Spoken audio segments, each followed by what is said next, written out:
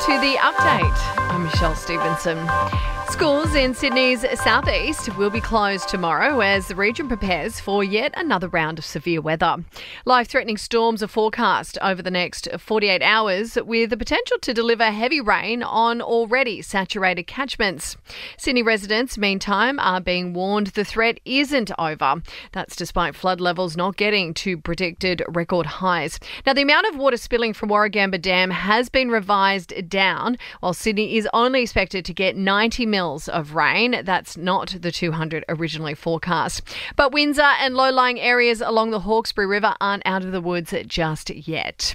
Now, the first major Ukraine city has fallen to Russia. The coastal city of Kherson, which is home to almost 300,000 people, is now under complete control of Russian invaders. That's after an intense gun battle.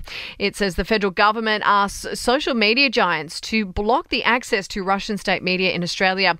Communications Minister Paul Fletcher has written to Facebook, Twitter, Google, TikTok, as well as Apple.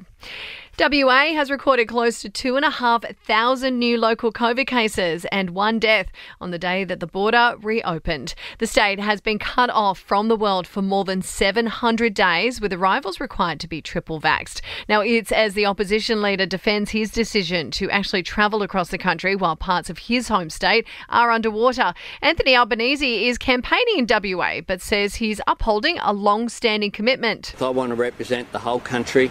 I make no apologies for keeping my commitment to the people of Western Australia. I would visit on day one. This has been planned for some time. And Australians are being urged to take proper precautions against the spread of a mosquito borne virus. Japanese encephalitis, which can cause swelling of the brain, has been detected at pig farms across Victoria and New South Wales. Three Victorians are currently in hospital with it.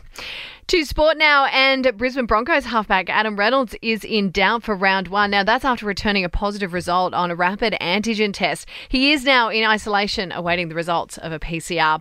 And Sydney FC has been doing its best to prepare for this weekend's derby against the Wanderers while rainfall continues to fall over the city.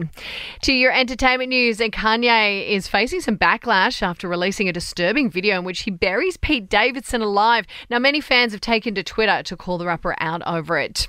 Meantime, Britney Spears has taken to Instagram to share a video of the lavish place that she's been staying with her fiance.